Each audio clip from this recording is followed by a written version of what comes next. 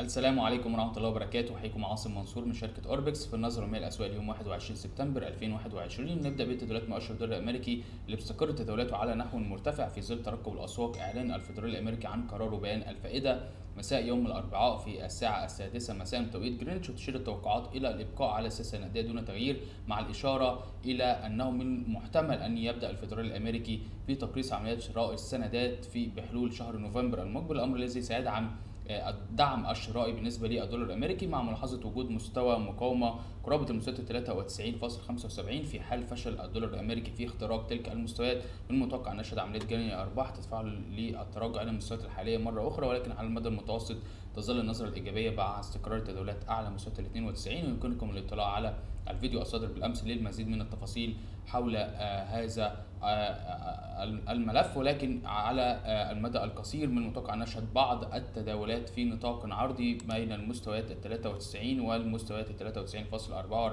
93.44 حتى يتم الإعلان عن قرار بيان الفائدة والتوقعات الاقتصادية بالإضافة إلى أنه من المتوقع أن يشهد الدولار الأمريكي تقلبات قوية في إعقاب المؤتمر الصحفي لجيروم باول محافظ الفدرالي الأمريكي.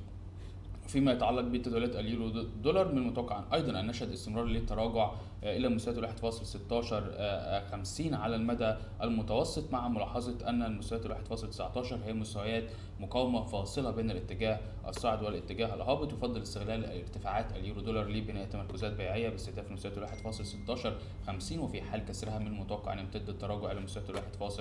1.15 وبالنسبة لتداولات الصين دولار من المتوقع أيضا أن نشهد عمليات تصحيحية تستهدف مستويات 1.37 20 ومن المتوقع أن في حال فشل الاسترليني دولار في اختراق تلك المستويات أن يعود للتراجع مرة أخرى إلى مستويات 1.36 وهي مستويات مستهدفة على المدى القصير. وأيضا تترقب الأسواق إعلان بنك إنجلترا عن قرارات السياسة النقديه يوم الخميس وسوف نناقشها بالمزيد من التفاصيل في الفيديو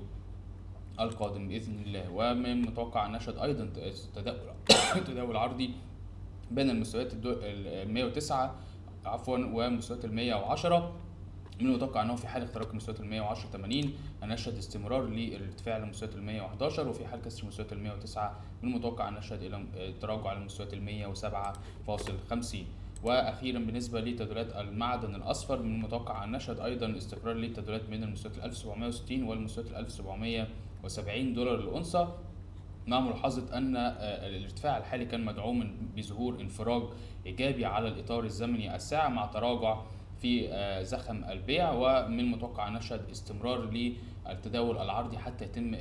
الإعلان عن قرارات الفدرالي الأمريكي واتجاه الدولار الأمريكي. تظل النظرة البيعية قائمة على المدى القصير بشرط عدم اختراق المستويات ال 1770 دولار الأونصة في حال اختراقها من المتوقع نشهد استمرار للارتفاع إلى مستويات ال 1780 دولار للأونصة وبالنسبة لتداولات الداو جونز أيضا سجل الداو تراجعات كبيرة إلى مستويات 33730 وسط عمليات تصحيحية قوية في أسواق الأسهم العالمية والأسهم الأمريكية على وجه التحديد ومن المتوقع أن نشهد المزيد من التراجع التصحيحي الذي قد يبلغ 20% بنهاية العام الجاري مما يعني أننا قد نستهدف مستويات 33000 ولكن الوضع الحالي يدعم التصحيح إلى مستويات 34645 في حال فشل الداو جونز في اختراق تلك المستويات من المتوقع أن نعود للتراجع إلى مستويات 33730 ولكن على المدى القصير أيضا من المتوقع أن نشهد استمرار للحركة الحالية.